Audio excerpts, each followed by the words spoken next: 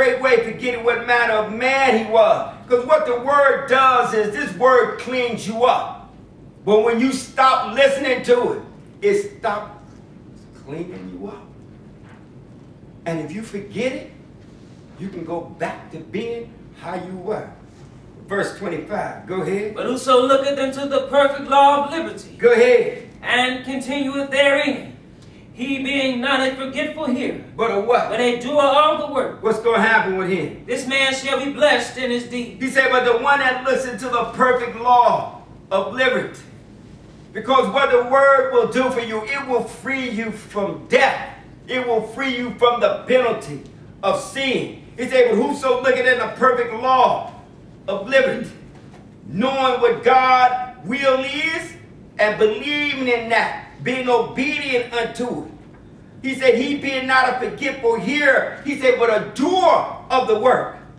You're applying understanding and wisdom to the knowledge that you've acquired.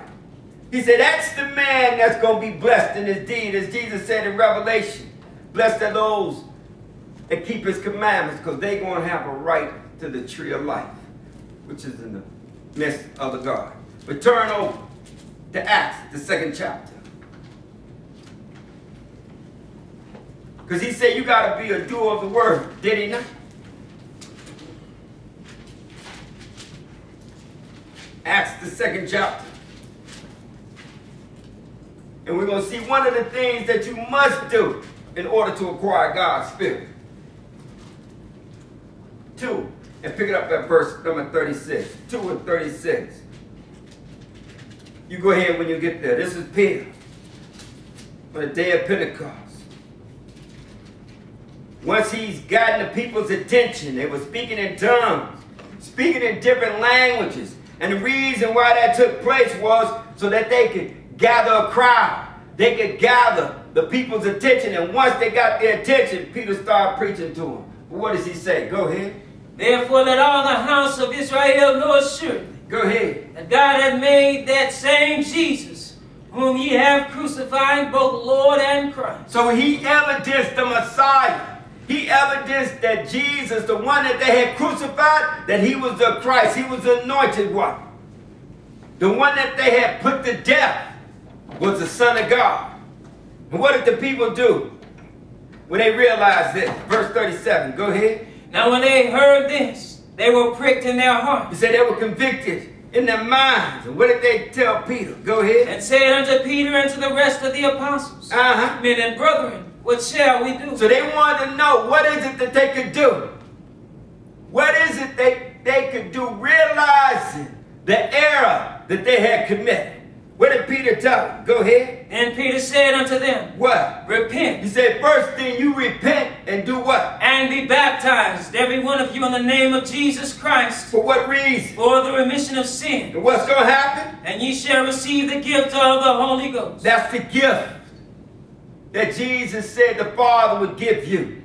He said, if you repent and be baptized, every one of you, in the name of Jesus, you're going to receive forgiveness for your sins, and also you're going to receive the gift, and that gift is God's Spirit. You're going to receive the Holy Ghost. Go ahead. For the promise is unto you and to your children, Not just to them, but this is for everybody. Everybody has an opportunity for this. He said, For the promise is unto you and to your children, and to who? and to all that are far, Even unto us. Go ahead. even as many as the Lord our God shall call. Turn over to Ezekiel, the 18th chapter. Because Peter said, Repent and be baptized. And we're going to see what it means to repent.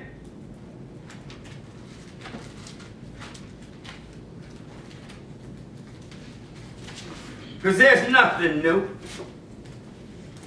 Peter wasn't telling them, wasn't giving them a new message. That's a message that's found throughout the Bible. And that is for the need for man to repent, to change, to stop walking contrary to the Lord. The same message that Jesus gave Israel here. And the reason I say Jesus, because with understanding, you know that's the only God that man has ever known. The Father, you've never seen his shape or heard his voice at any time. What did the Lord say? Because they had been questioning God's judgment. Because what they had wanted was they want the Son to bear the burden of the Father's sin. And Jesus had told him, the soul that sinned, that's the that's the one that's going to die. In other words, the individual that does the wrong, that's the one that's going to pay the price. And they had told him, pick it up at verse number 29. What did they say? What did the Lord tell them? Because they were questioning God's judgment. What did he say? It said, The house of Israel, Uh-huh. the way of the Lord is not equal. Go ahead. O house of Israel, are not my ways equal? And what? Are not your ways unequal? He said, you're the one that has wrong judgment. And what is he going to do, therefore? Verse 30. Therefore I will judge you, O house of Israel, Go ahead. Everyone according to his ways, saith the Lord God. He said, I'm going to judge you according to your deeds. He said, I'm going to judge every one of you according to your works. Therefore, what? Repent And do what? and turn yourselves from all your transgressions, so iniquity shall not be your ruin. He said, you got to repent. He said, you got to turn yourselves from your transgressions. He said, so your unrighteousness will not be your demise or be the cause for your destruction. Do what? Go ahead. Cast away from you all your transgressions. Call, do away with all that that causes you to go contrary to God. He said, cast away from you all your transgressions, whereby you have transgressed. And do what? and make you a new heart and a new spirit. You creating you a new mindset. He said, you making you a new heart and a new spirit. Go ahead. But why will ye die, O house of Israel? Go ahead.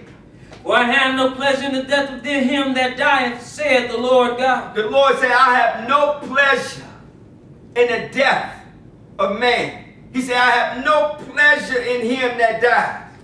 It tells you in Revelation, Jesus was the one that created all things, including man. And all things were created for his pleasure. He takes no pleasure in the death of man. We brought death upon ourselves as a result of our disobedience. He said, but I have no pleasure in the death of him that died. He said, therefore, you got to create in you a new mindset. You got to create in you a new heart. You got to create in you a new spirit. Go ahead. Wherefore turn yourselves and live ye. You got to change. And if you do that, he's not talking about living just this physical life. He's talking about eternal life. But turn over to Romans, the 12th chapter. Because Paul's going to tell us the same thing. He's going to tell us what that means when he say creating you a new heart and a new spirit. Because just like the Lord Paul is telling us that you got to turn from your transgressions. You got to stop sinning.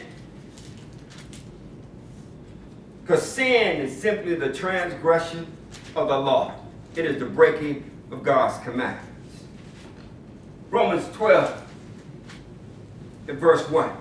12 and 1. What does Paul say? Go ahead. I beseech you, therefore, brethren, Uh-huh. by the mercies of God, That you do what? that ye present your bodies a living sacrifice, Go ahead. holy, acceptable unto God, Uh-huh. which is your reasonable service. And again, he's telling us, you're responsible for this.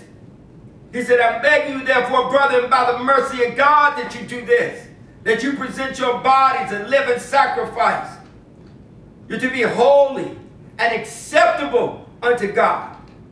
And that acceptability is not based on man's standards. It is based on the word of God. That's what teaches you how to be holy. That's what teaches you how to be righteous and upright in the eyes of God. It's his word. He says, so therefore I beseech you, therefore, brother, by the mercies of God, that you present your bodies a living sacrifice, holy, acceptable unto God. He said, which is your reasonable service. What did Solomon say? He said, the whole duty of man is to fear God and to keep his commandments. That's your responsibility. Verse number two. Go ahead. And be not conformed to this world, But do what? and be ye transformed by the renewing of your mind. That's how you create in you a new spirit and a new heart. You got to create in you a new mindset. You got to stop doing those things that you used to do that were contrary to God. And in order to do that, you got to change your thoughts. You got to change your perspective, how you look at life. You got to start operating not with this natural mind, but with your spiritual mind that you acquire from God. He said, You be conformed not to this world, but be transformed by the renewing of your mind that you may do what? That ye may prove what is that good and acceptable and perfect will of God. Turn over to Philippians. Because Paul said you got it renewing you. You have to, re- have to have the renewing of your mind. Is the Lord said you got to create in you a, a new spirit, a new heart. And we're going to see what is the mindset that we're to have. Because again, Jesus is our example. And we're to pattern ourselves after him. Was not Jesus full of the Holy Ghost? Was he not full of God's Spirit? 2 and 5. What did Paul say? Because he said you got to have renewing you.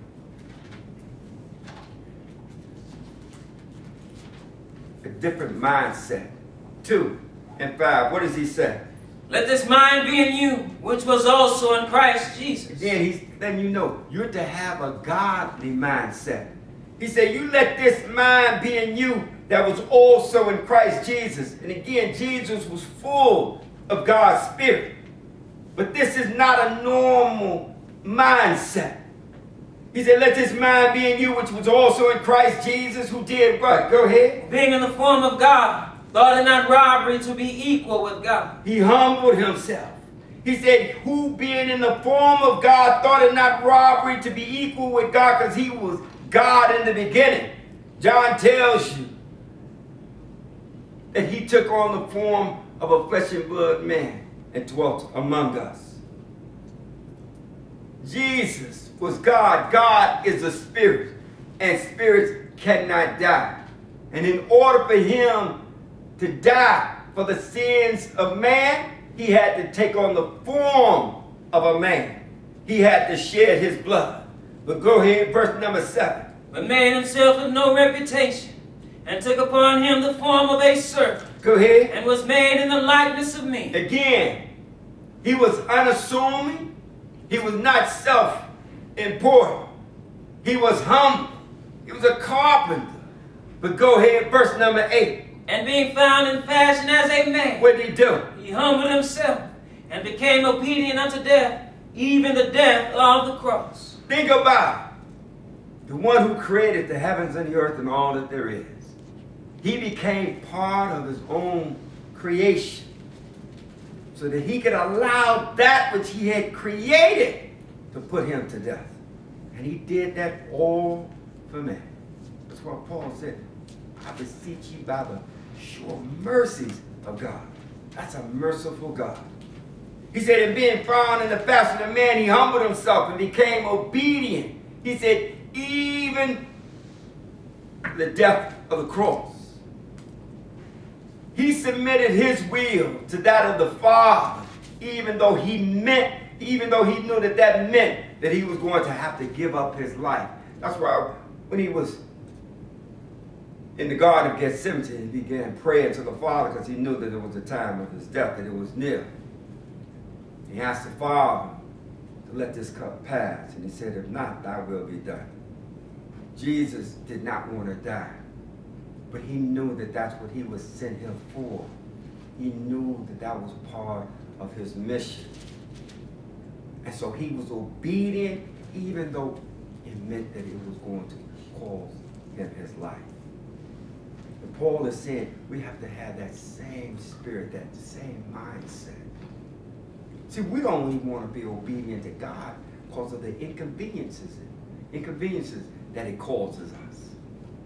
We think about it, we say, well, see, the Lord say concerning the Sabbath, to keep it holy.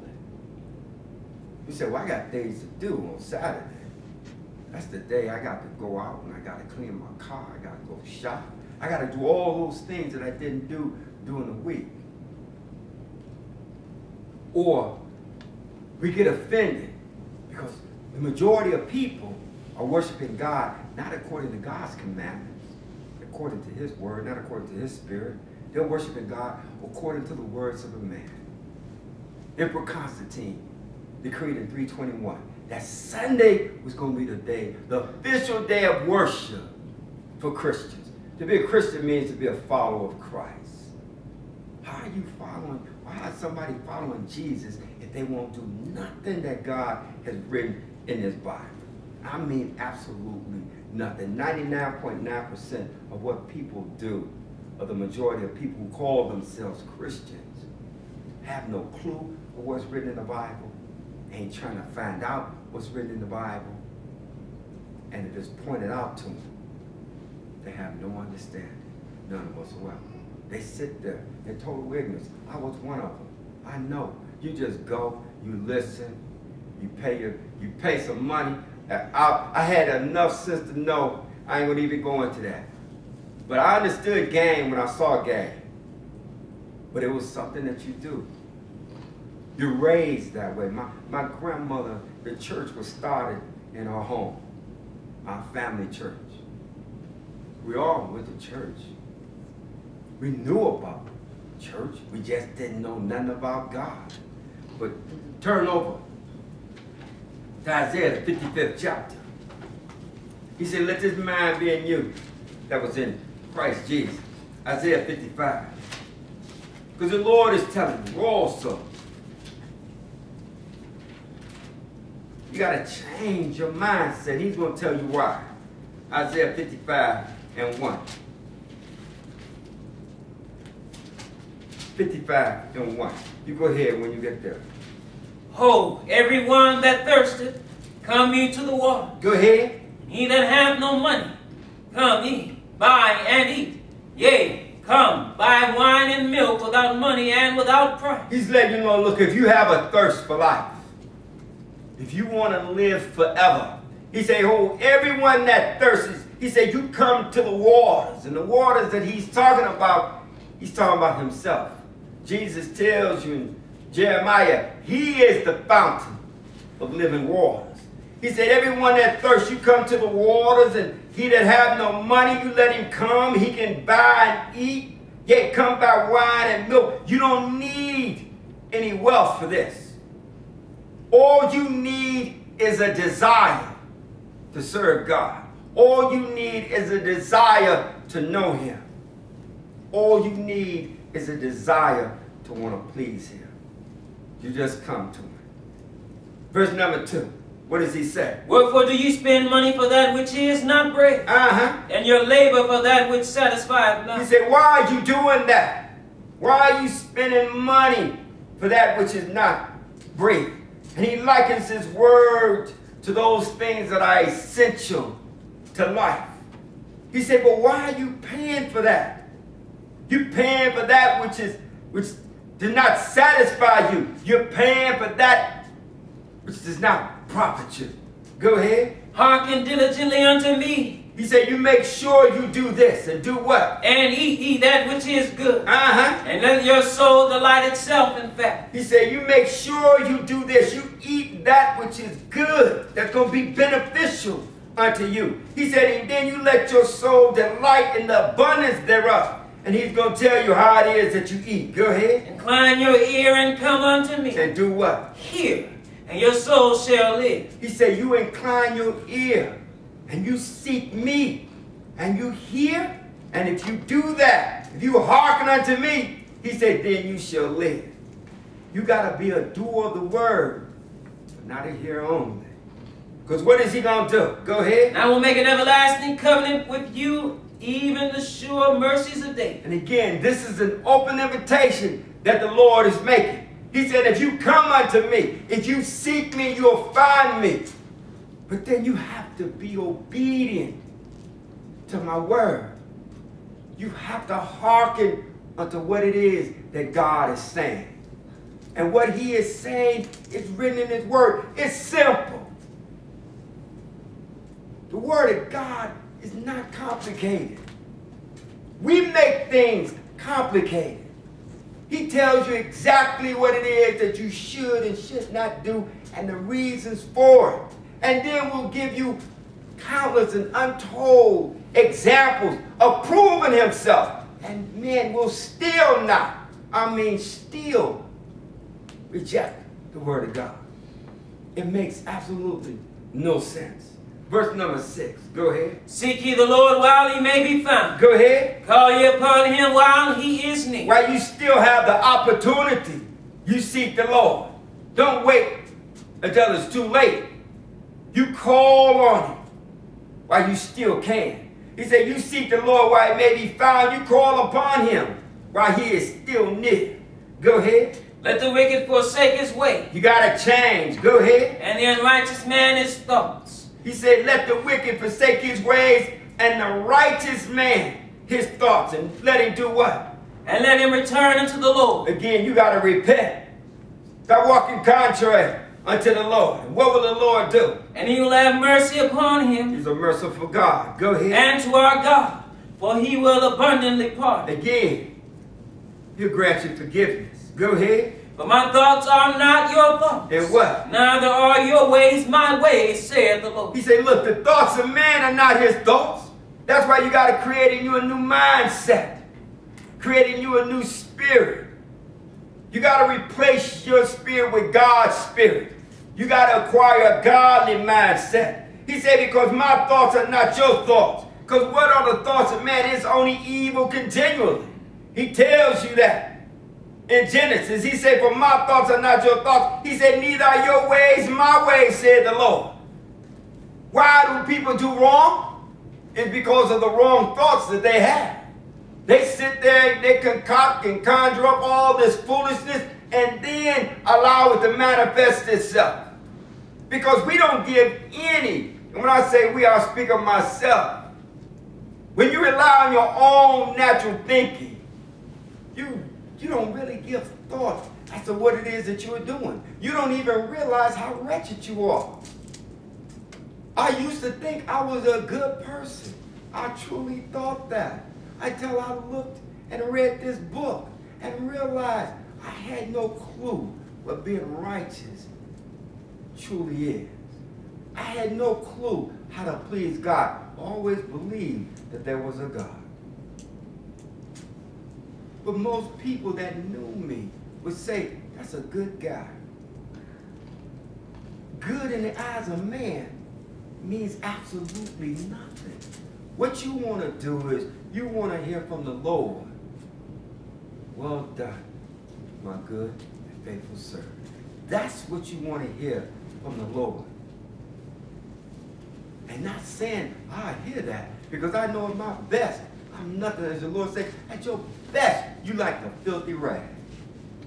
But at least let me be trying. Let me die trying to serve the Lord. Because then I would have known that I've done all that I that I can. I've never said one has to be the best, but you got to give your best effort. That's what God is requiring of us.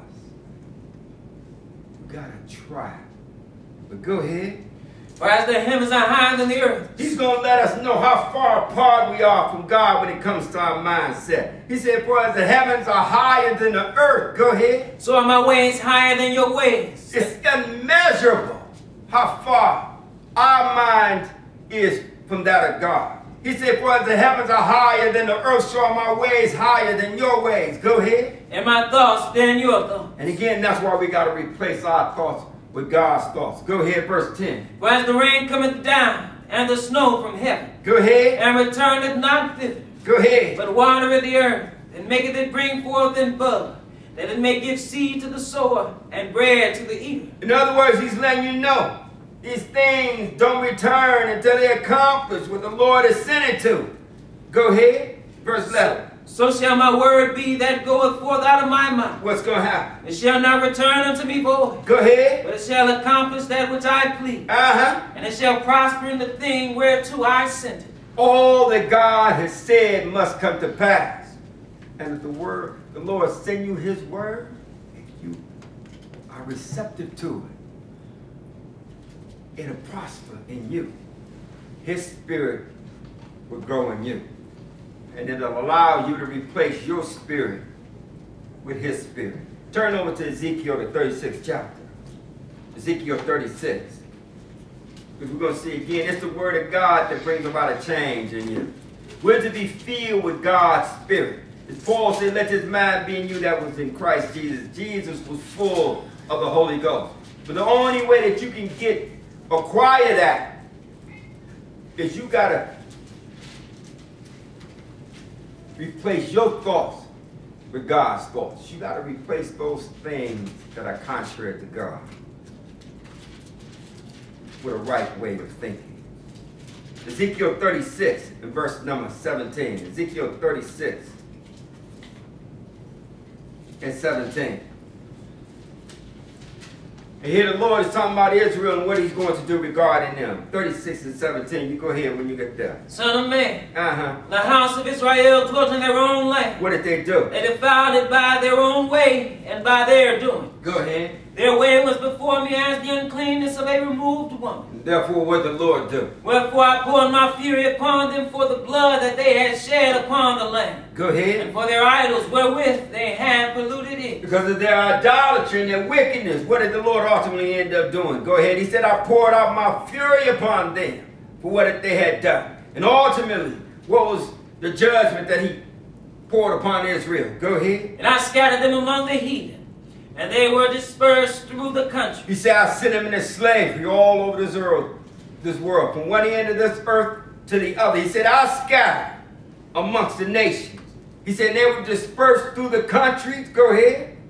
According to their way and according to their doings, I judged them. And therefore, as a result of his judgment, Israel is in captivity even until this day. But drop down to verse number 22. Go ahead. Therefore, saying to the house of Israel, Thus saith the Lord God, I do not this for your sakes, O house of Israel. But why is the Lord going to do this? Go ahead. but for mine holy name's sake, Uh-huh. which ye have profaned among the heathen, whither ye went. Again, this is future, but what is he going to do? Go ahead. And I will sanctify my great name, which was profaned among the heathen, which ye have profaned in the midst of them. Go ahead. And the heathen shall know that I am the Lord, saith the Lord God, when I shall be sanctified in you before their eyes. Because everybody's going to know the true and living God when this takes place. And what is that? Verse number 24. Go ahead. I will take you from among the heathen, and gather you out of all countries, Uh-huh. and will bring you into your own land. Did he say in Jeremiah that he was going to bring them back into Zion? He was going to give them pastors after his heart. They were going to feed the people with knowledge and understanding. He said, I'm going to take you from amongst the nations. He said, I'm going to gather you, Israel, from out of all countries. And I'm going to bring you back into your own land. Then what is the Lord going to do? Verse 25. Go ahead. Then will I sprinkle clean water upon you, Uh-huh. ye shall be clean. Go ahead. From all your filthiness, and from all your idols will I cleanse you. And this water that he's talking about sprinkling upon the people is just simply talking about his word. Tells you in Psalms, where will a man clean his ways? But by the word of God. He said, I'm going to sprinkle clean water upon you, and you're going to be clean from all your filthiness and from all your idols. He said, Well, I cleanse you. Go ahead. And new heart also will I give you, and a new spirit. A new mindset. He said, A new heart will also give you. He said, Now I'm creating you a new spirit. He said, Well, I put within you. Go ahead. And I will take away the stony heart out of your flesh, Go ahead. and I will give you an heart of flesh. Again, you're going to have a new mindset. A God. Go ahead. Verse 27. And I will put my spirit within you, Uh-huh. cause you to walk in my statutes. And do what? And ye shall keep my judgments and do them. He said, I'm going to put my spirit in you. Again, what is his spirit? He's talking about his wisdom, his understanding, his knowledge. He said, I'm going to put my spirit within you. He said, and I'm going to cause you to walk in my statutes. You're going to be obedient, and you shall keep my judgments and do them. Turn over to Ephesians, the fifth chapter.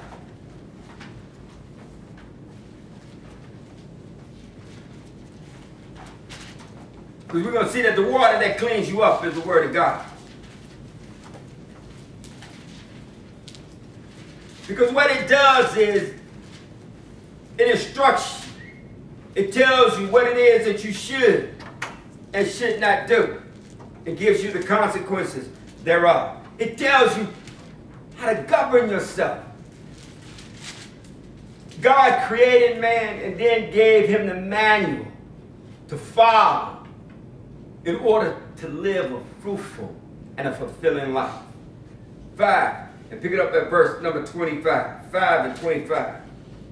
What does it say? Husbands, love your wives, Go ahead. even as Christ also loved the church and gave himself for. He shed his blood for the remission of the forgiveness of our sins. And Paul here is saying that's the love that a man is supposed to have for his wife. Jesus died for the church. He said, Husbands, you love your wives even as Christ also loved the church and gave himself for it. That what? that he might sanctify and cleanse it with the washing of water by the word, Again, he said that he might sanctify. And it is the word of God that sanctifies you. It's the word of God that sets you apart if you are obedient to it. He said that he may sanctify and cleanse it with the washing of water by the word. It is the word of God that cleans you up. Because it tells, he's telling you to repent. But that has to be according to something. That has to be in accordance to his word. Go ahead.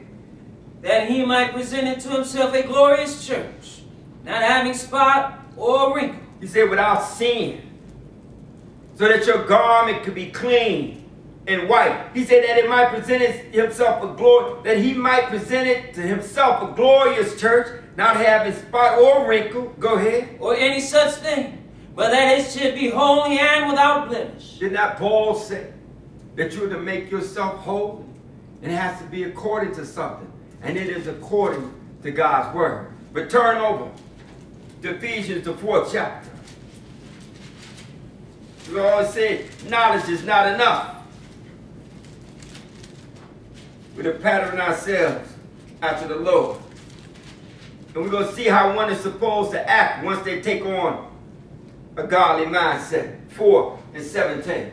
4 and 17. You go ahead when you get there.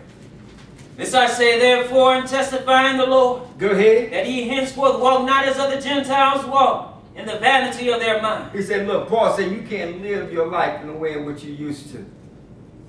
He said you can't walk as the others do. He said in the futility of their mind. Verse 18, go ahead. Having the understanding dark, Uh-huh. being alienated from the life of God through the ignorance that is in them. He said, having the understanding darkened and being alienated from God because of their ignorance, because of the blindness of their heart. Verse 19, go ahead. Who being past feeling have given themselves over unto lasciviousness, Go ahead. to work all uncleanness with greediness. But what? But ye have not so learned Christ. He said, but you've not learned this. Go ahead. If so be that ye have heard him, Go ahead. have been taught by him, as the truth is in Jesus. Because once you come to the Lord, you have something to do. And what is that? That ye put off concerning the former conversation the old man, That old conduct. Go ahead in word and in deed. He's going to let you know. He said you got to put off concerning the former conversation of how you used to live, the things that you used to do. That's what he refers to as the old man, which is what? Which is corrupt according to the deceitful lust. Which is corrupt in his thinking. The Lord say, my, my thoughts are not your thoughts, and therefore your ways are not my ways. So you need God's spirit. You need to replace your thoughts with his thoughts, which will in turn change your ways to be like him. Go ahead. and be renewed in the spirit of your mind. He said you got to be transformed by the renewing of your mind. He said and be renewed in the spirit of your mind. Because he said, let this spirit be in you that was in Christ Jesus. Go ahead. And that ye put on the new man, Which is what? which after God is created in righteousness and true hope. Yeah, you got to pattern yourself after Jesus. He is our example. Go ahead. Wherefore, putting away lying, Go ahead. speak every man truth with his neighbor. And he's not talking about half truths. He said, wherefore putting away lying. He said, and you speak every man truth with his neighbor. Why? Go ahead. We are members one of another. And I always say that doesn't give people the right to be crassed. Or they say, well, I'm keeping it real. I'm, I'm telling it like it is. I'm being truthful. Not saying giving one a right to be offensive in their language. What it's talking about, don't be slanderous. Don't be a talebearer. Don't go around lying on people. And if someone has done something, you let them know. There's nothing wrong with that. You be truthful about it. And the other person should be willing to be receptive to the criticism that they're receiving. He said, Wherefore, putting away lying and speak every man truth with his neighbor. He said, For we are members one of another. We are all of the same body, all of the same church. Go ahead, verse 26. Be ye angry and sin not. Did he say, Don't get angry? No, he said, Be ye angry. You can get angry. You, it would be impossible for a person not to get angry. He said, but don't allow your anger to cause you to sin. He said, be ye angry. He said, but don't sin. Go ahead and neither what? Let not the sun go down upon your wrath. Look, don't allow your ill feelings to sit there and fester. Because then what's going to take place is you're going to look for revenge. And the Lord said, vengeance is mine, said the Lord. He said, so you can get angry, but don't sin. He said, don't let the sun go down upon your wrath. What you do if somebody has done something to offend you, let them know. And then you allow whatever their response, you allow that to be. If they're receptive to what it is that you're telling them, then all is well. And if they're not receptive to what you're telling them, still all is well. But don't you lay on your bed at 1 or 2 o'clock in the morning and say, oh, that person done done me wrong. Because you know that person that's done you wrong, you know what they're doing at 1 or 2 o'clock in the morning? Sleeping good. Thinking about how they're going to do somebody else wrong. Verse number 28. Go ahead. Let him that stole steal no more. But do what? But rather let him labor, working with his hands the thing which is good. Go ahead. He may have to give to him that needeth. Again, this is a person taking on a godly mindset. Even the thief whose job it was to watch you go to work so he could take from you. Now he's willing to not only to go to work, but he would be willing to even impart what he has worked for to others who are less fortunate. Verse 29. I'm sorry. Thank you. Go to John, the 12th chapter. He said, let him that stole steal no more. Go over to John, the 12th chapter. Because it's important to realize that you got to do more than just hear this word in order to get God's Spirit. You have to allow yourself to be governed by. And we see the example of that exhibited in the life of Judas, one of Jesus' apostles. He was with the Lord for three and a half years. And look at what he did. John 12 and verse number 1. 12 and 1. You go ahead when you get there. Then Jesus, six days before the Passover, came to Bethany, where Lazarus was, which had been dead, whom he raised from the dead. Now, Jesus was doing all kinds of miracles, even raising men from the dead. And Judas was witness to this. He saw it. Verse 2, go ahead. There they made him a supper, and Martha served. But Lazarus was one of them that sat at the table with him. Then took Mary a pound of ointment of spikenard, Go ahead. very costly, and anointed the feet of Jesus, and wiped his feet with her hair. And the house was filled with the odor of the ointment. What is Judas going to do? Go ahead. Then said one of his disciples, Judas Iscariot, Simon's son, which should betray him. Why was not this ointment sold for 300 pence and given to the poor? Now, he appeared to be compassionate. He appeared to be caring. He is saying it appears to be the right thing. It is, Mary has taken this ointment. It's very costly. And she's anointing the feet of Jesus. And Judas is saying, why didn't you take that ointment and sell it and then give the proceeds to the poor? But he, he said that because he was caring. Why did he say it? Verse number six. This he said not that he cared for the poor, But what? but because he was a thief, Uh-huh. and had the bag, and bare what was put therein. Again, he said the right things, but his actions did what? His action told another story.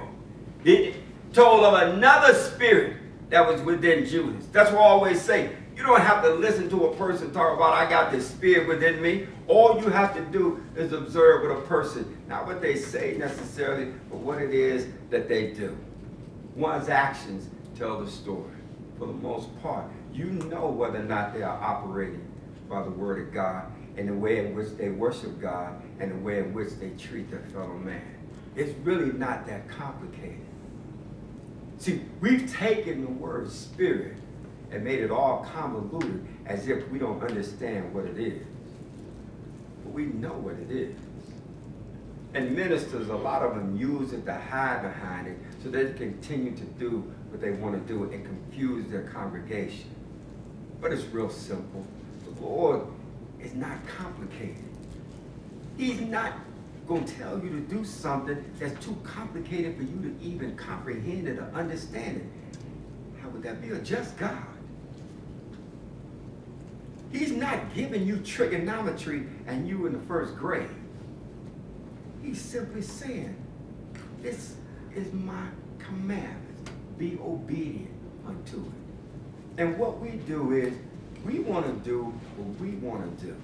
We want to follow our own natural mindset.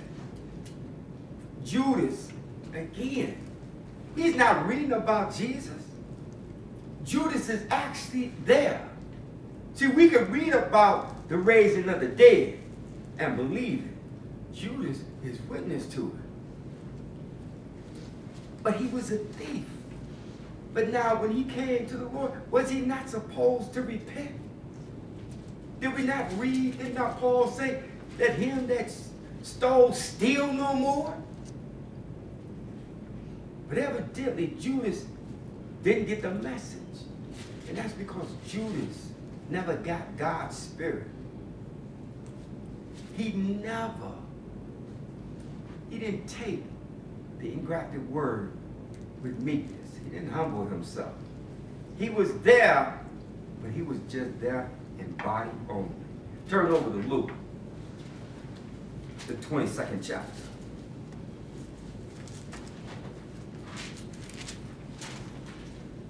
We're to see what happened when Judas was tempted of Satan. 22 and verse number 1. And if he tempted of Satan, just simply means Satan's an angel. And what you're really being tempted of is your own lust, your own desire. Judas was a thief, and as a result of that, that's going to cause his eternal damnation. 22 and 1. Go ahead when you get there. Now the feast of unleavened bread drew nigh, Go ahead. which is called the Passover. Uh-huh. And the chief priests and scribes sought how they might kill him, for they feared the people. Go ahead. Then entered Satan into Judas, surnamed Iscariot, being of the number of the twelve. Again, all that when it says that then entered Satan into Judas, an angel didn't enter into him. What it was is talking about the thought that Judas had was an evil thought. Everything that is contrary to God is attributable to Satan. If you remember, if you think about it, when the Lord, when the Lord was talking about how he was going to die, and Peter told him, Not so, Lord, far be it from you. This should never happen. And what did Jesus say to Peter? He said, Get behind me, Satan. For you savors the things that be of man and not of God. Peter didn't mean no harm when he was saying that the Lord wasn't going to die. He didn't want him to die. But that was totally contrary to God's plan of salvation for man because if Jesus had not shed his blood for the forgiveness of our sins, all this would be mute. All this would be an exercise in futility. So he said that Satan entered into Judas, just talking about the evil thought that he had. And what was that? Go ahead. And he went his way and communed with the chief priests and captains, Go ahead. how he might betray him unto them. And they were glad and covenanted to give him money. So they agreed to give Judas 30 pieces of silver to betray the Lord. And why is that? Because Judas never eradicated those thoughts. He never eradicated that wrong way of thinking. See, To do wrong means to do wrong. But what precedes that wrongdoing is the thought. That's why you have to change your thoughts. Because when confronted with the opportunity, if you've been battling the thought all along, chances are you can still win the battle. But if the thought of doing wrong has been resting in your mind, when the opportunity comes along, then the action is just an extension of the thought.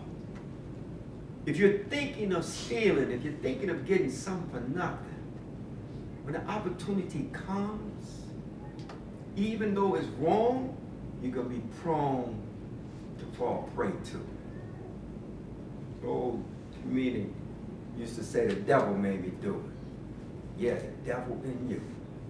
That's who made him do it. It was himself. And then he turned around.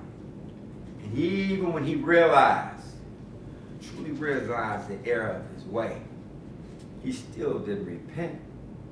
Why do I say that? Because instead of calling on God's mercy, he said, I take matters into my own hands. And he hung himself. The Lord said, don't steal. And he's the same God to say, and don't commit murder. And that means murdering oneself. You can't commit suicide and think you're getting out of something. That almost seals your faith. And when I say it almost seals your faith, because if you commit suicide, you can't repent. You're dead.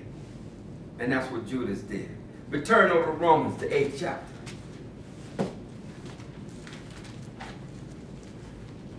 Because he was with Jesus. And it didn't benefit him. And why was that? Because again, he never acquired the Lord's Spirit. And Paul's letting you know that here. In order to truly serve God, you have to acquire his Spirit. You have to acquire the Holy Ghost. And that's simply saying you have to acquire God's knowledge and understanding and the wisdom that comes from him. Romans 8 and verse 5. 8 and 5. What does Paul say? Go ahead. For they that are after the flesh do mind the things of the flesh. Again, you're going operate according to your cardinal desires. He said, but they that are after the flesh, they do according to the things of the flesh. Go ahead. But they that are after the Spirit, the things of the Spirit. But if you're being led by the Word of God, then you're going to do those things, do things in according to God's Word. He said, if you live in your life after the flesh, you're going to mind the things of the flesh. He said, but if you are after the Spirit, then you're going to do the things of the Spirit. Go ahead. For to be carnally minded is death. But what? But to be spiritually minded is life and peace. He said, now to be carnally minded is death. And he's talking about eternal damnation. Because all of us, if we don't live until the second coming of the Lord, we all got this first of the physical death coming. He said, but then to be spiritually minded, having a godly mindset, he said, that's life and that's peace. And the peace comes from the fact of knowing that if you serve God to the best of your ability, he's just going to raise you from the dead. But go ahead, verse 7. Because the carnal mind is enmity against God. The natural mind. Go ahead. For it is not subject to the law of God, neither indeed can be. It will not be obedient. And that's why you got to transform it. You got to change your mindset and take on a godly mindset. Go ahead. So then they that are in the flesh cannot please God. But what? But ye are not in the flesh, but in the Spirit.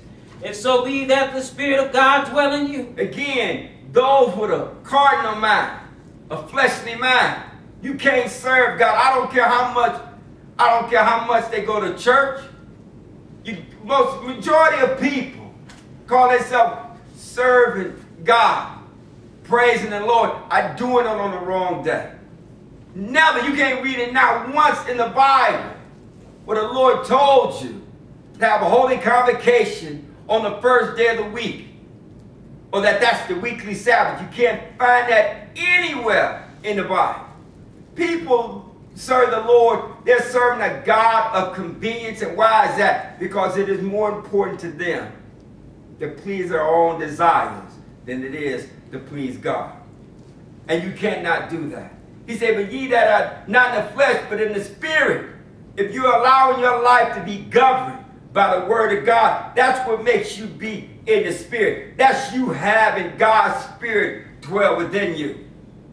That's you having a godly mindset when you do the things of God. Because it's not natural. And when I say it's not natural, you may want to do something else.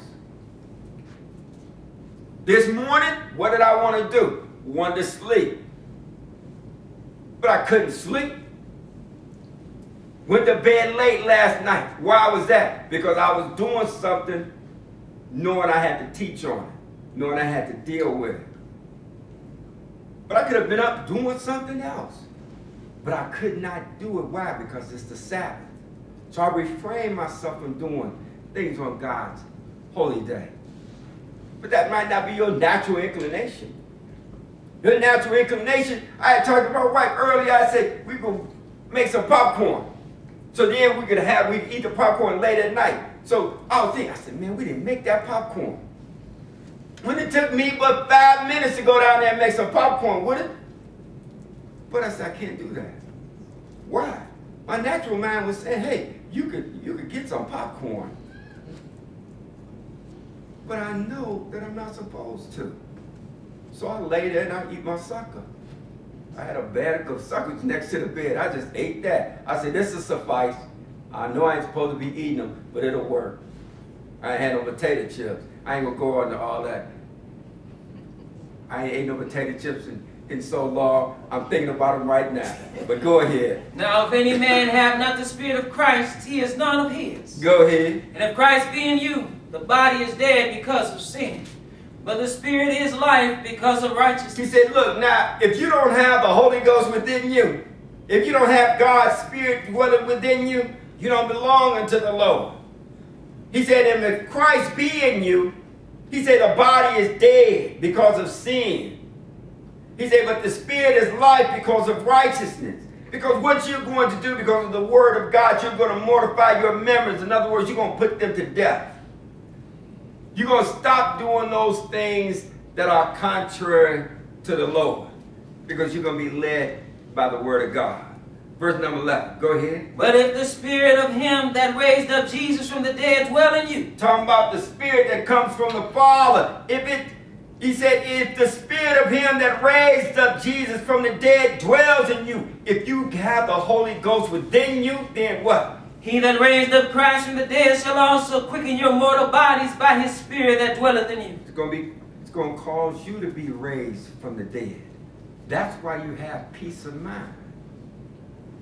Because you know that you are living this life to the best of your ability according to what thus said the Lord.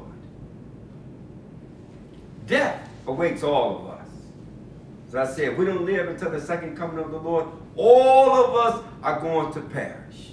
But it's one thing, you know that when you call on, God, on God, you know you are calling on the true and living God. And you know that you know how to serve him.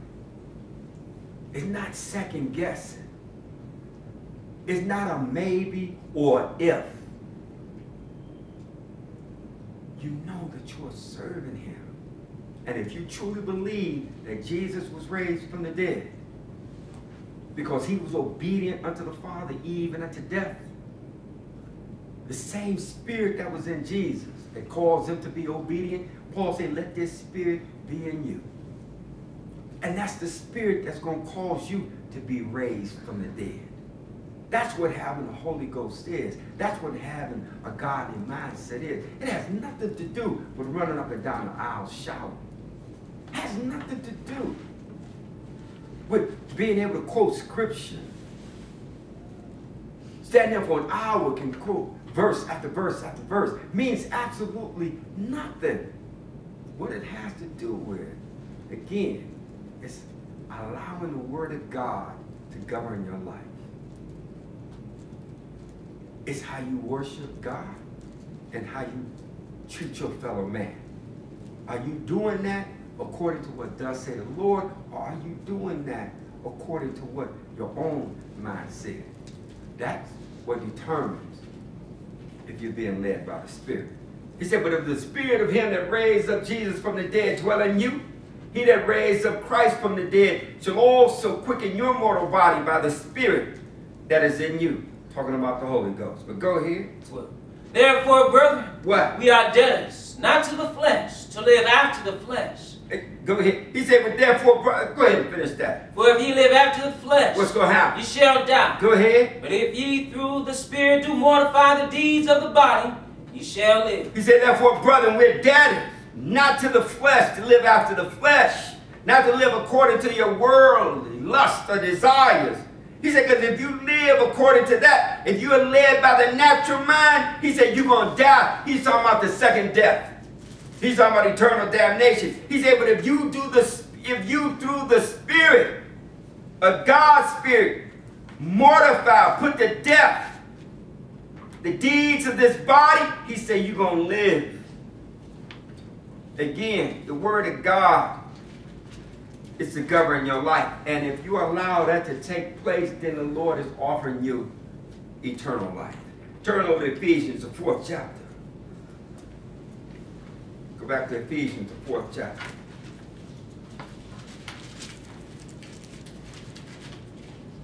To continue to see how one is to operate in the spirit. And this is not something that happens overnight. Just to, to grow in grace. You don't come in His Word knowing all that you should do. You're constantly learning. But as you learn, as the old saying, when you know better, what do you do? You are supposed to do better. 4 and 29. Go ahead when you get there. Let no corrupt communication proceed out of your mouth, but that which is good to the use of edifying, Go ahead. And it may minister grace unto the hearers. Grieve not the Holy Spirit of God, whereby ye are sealed unto the day of redemption. Go ahead. Let all bitterness and wrath and anger and clamor and evil speaking be put away from you with all malice. Again, you're supposed to be doing all of this once you come to the Lord. Again, in acquiring His Spirit. He said, let no corrupt communication proceed out of your mouth. He said, but that which is good to the use of edifying, that it may minister grace unto the hearers. He said, don't grieve the Holy Spirit of God, whereby you are sealed until the day of redemption. Again, but that is only if you adhere to it. That is only if you allow it to dwell within you. He said, let all bitterness and wrath and anger and clamor and blasphemy, he said, be put away with you, put away from you. He said, with all wickedness. And do what? Verse number 32. And be kind one to another, tender hearted.